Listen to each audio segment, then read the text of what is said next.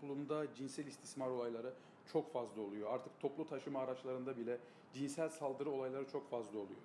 Şimdi bu cinsel saldırı olaylarından sonra e, fail olduğu iddia edilen kişi kolluk kuvvetleri tarafından gözaltına alınıyor.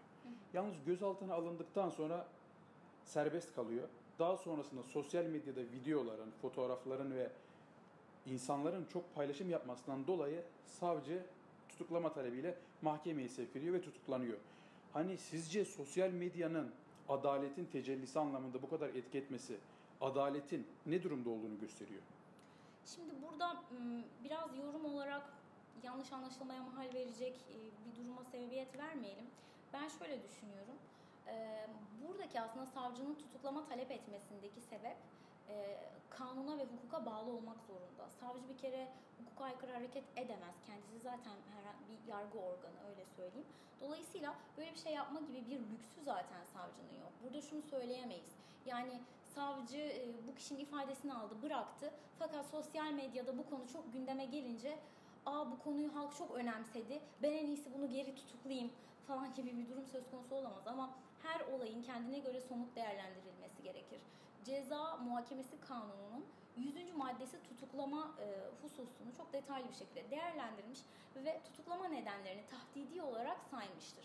Burada çeşitli durumlar meydana gelmiş olabilir. Örneğin e, o sosyal medyada paylaşılan görüntüler veya içerikler e, sanığın aleyhine delil olmuş olabilir ve ilk etapta dosya içerisinde bulunmadığı halde sonradan bu delil elde edilmiş ve dosyaya girmiş olabilir.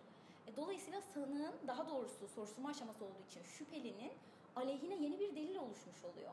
Veya bunu da e, geçelim.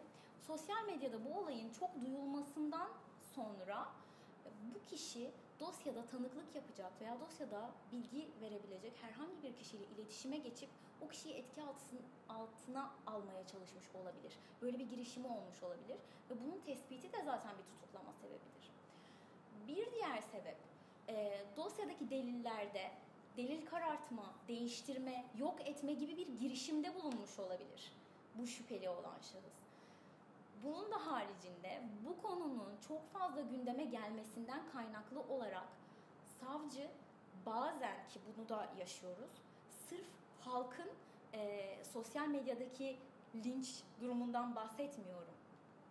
Halkın fiziki olarak linç girişiminde bulunmasını önlemek adına e, savcı bu kişiyi koruma maksatlı da tutuklama talebinde bulunmuş olabilir.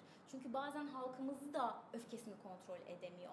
Ve her şeyden önce e, masumiyet karinesi mevcut. Ne olursa olsun. Tabii ki her olaya göre bu masumiyet durumu da değiş, değişiklik gösterir ve farklı yorumlanır. Fakat her zaman için masumiyet esastır. Bir kişinin o suçu işlediği sabit olana kadar o kişi masumdur. Dolayısıyla sosyal medyadaki tepkiden kaynaklı bir tutuklama olduğunu ben düşünmüyorum.